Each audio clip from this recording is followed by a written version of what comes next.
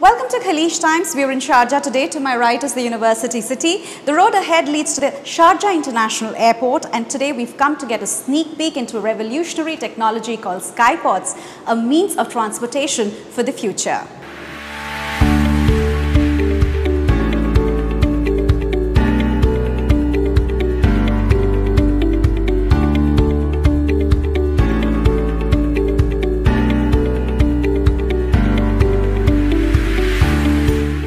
We are running test operations and we give you chance to feel how it is comfortable, how it is safe, how it is fast.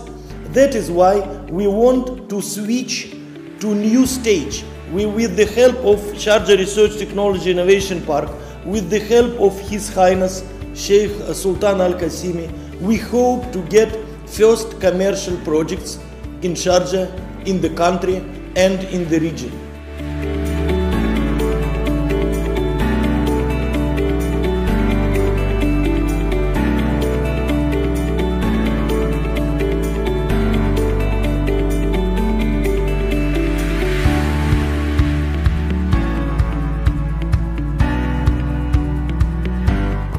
We're literally riding on the future with this advanced engineering solution in this high-speed intercity travel that will be made possible for everybody at a fraction of the cost as compared to other normal transport systems.